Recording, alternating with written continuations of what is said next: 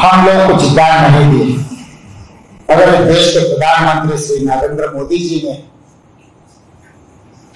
तेलंगाना के बारे में और हमारे गारंटीज के बारे में झूठ बोलना शुरू किए तो मैं ये सोचा था, मोदी जी ने झूठ बोलना नहीं छोड़े तो हम सच्चा बोलना भी नहीं छोड़ने वाले।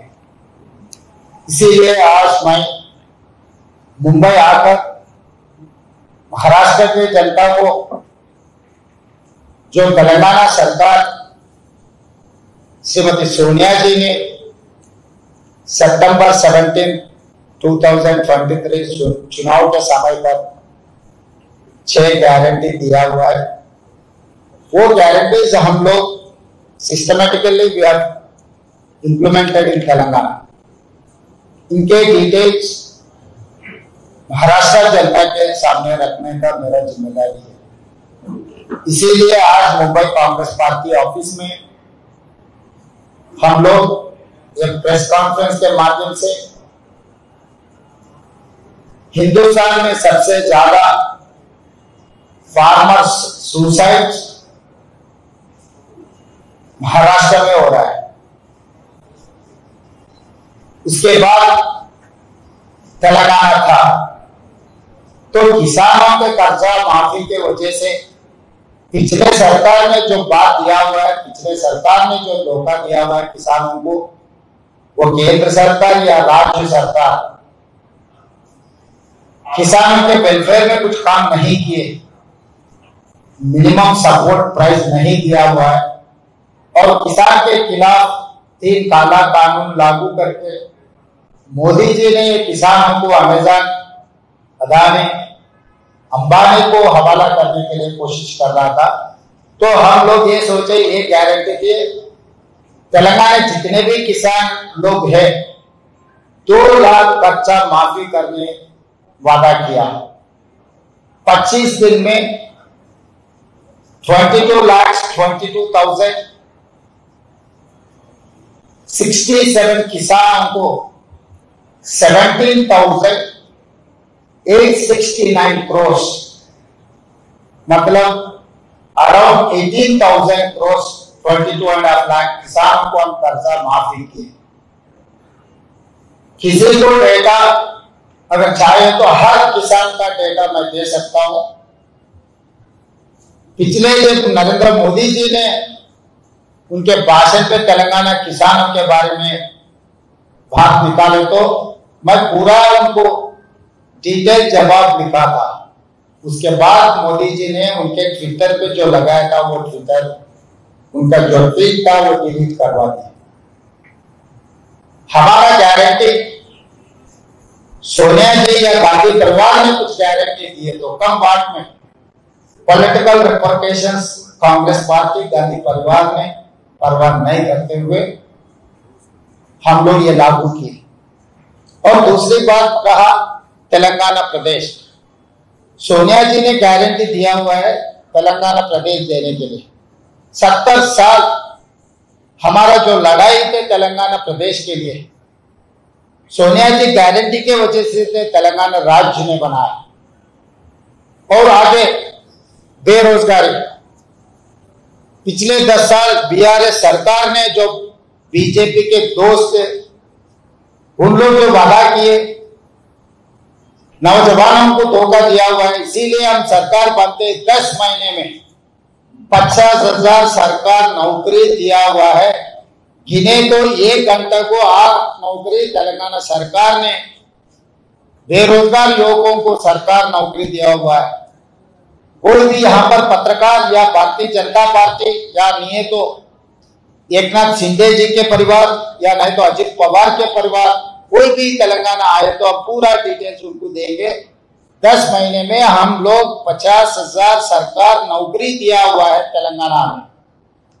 और इसके अलावा Mahalakshmi Mahalakshmi five hundred rupees cylinder आज five hundred rupees cylinder almost forty nine forty nine lakh families are utilizing 500 rupees cylinder and 200 units, up to 200 units free power.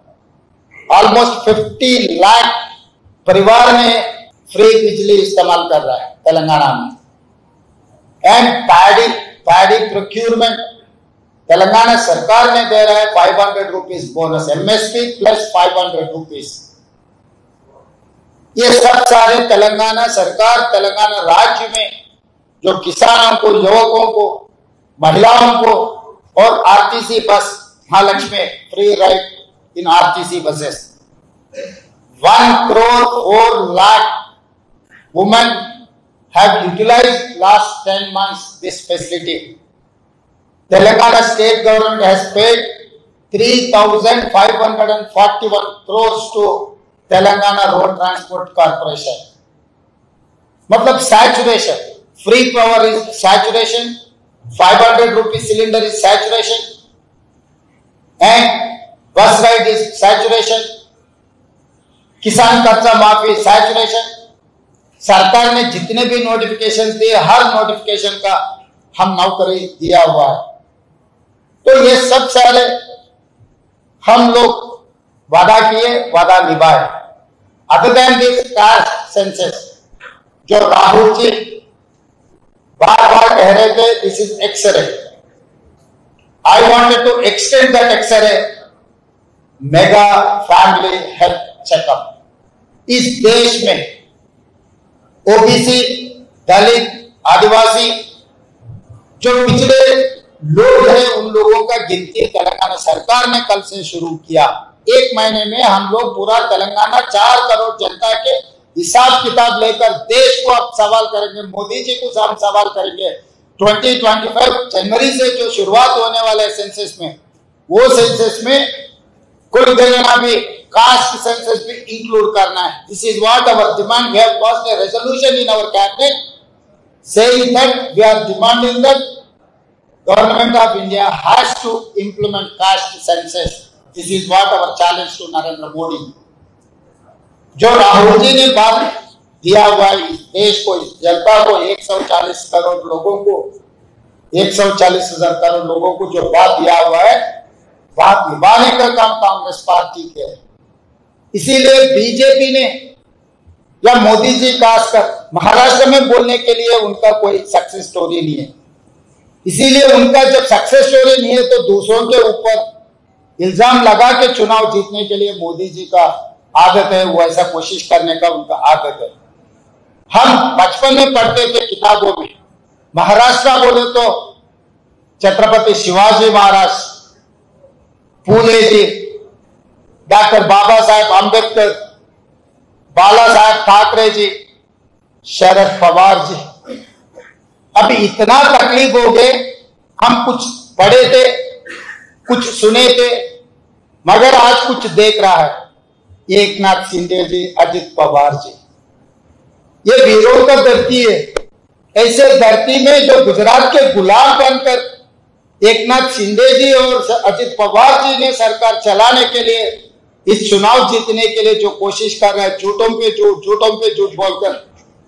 इसीलिए आज मैं भारतीय जनता पार्टी को वो नाम से बुलाए तो ठीक नहीं है, भारतीय झूठा पार्टी।